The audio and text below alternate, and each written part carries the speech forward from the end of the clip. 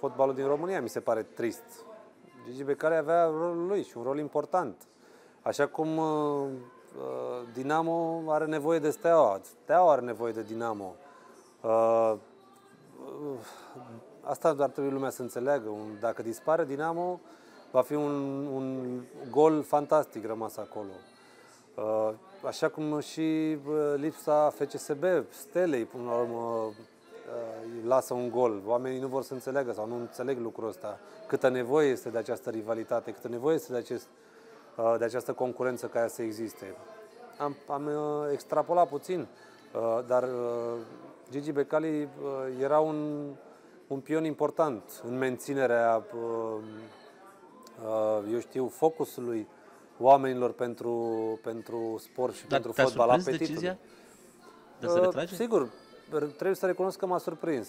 Uh, Dar totodată era de așteptat că odată și odată va obosi. Uh, Pentru că, până la urmă, era cel mai uh, mediatizat om uh, din fotbal și omul care, să fim realiști, ținea în viață și ține în viață fotbal românesc. Că El a reușit cam cele mai mari transferuri. El a făcut cele mai mari transferuri de la viitorul.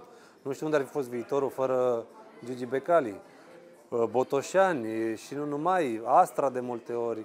Deci a fost omul și este omul care a menținut în, în viață Liga 1. E trist. Pentru mine, unul ca și suporter al sportului și al fotbalului, este trist uh, fotbalul fără Gigi Becali. La o primă uh, vedere așa, cred că ești singurul jucător pe care nu l-a criticat. Care a jucat pentru el. Nu mi-aduc aminte, Am sincer, avut, acum o, așa. am spun. avut și am o relație uh, de respect reciproc și cred că este un om care merită respect.